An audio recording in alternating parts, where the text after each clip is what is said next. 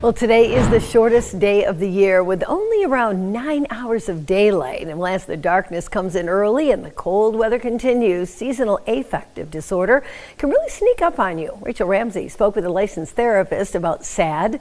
She's here for you now with the best ways to prevent it. Rachel?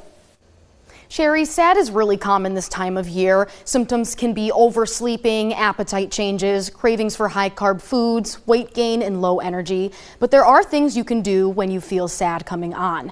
A therapist with Blooming Minds Therapy says light therapy can be helpful, whether that be spending more time outside during the day or getting a light therapy lamp. She says vitamin D is a great supplement as well, but should be paired with things like exercise and getting enough sleep. And she really emphasizes self-care during this time time. She says it's helpful to have a daily routine to keep yourself busy through the winter months oftentimes if you have a strict routine even when the weather is cold it's really dark out it's a little bit easier to get through this period. I think it's also a really great time to get into new hobbies. So our mental health practice is all about plants and we are really big on the connection between plants and mindfulness.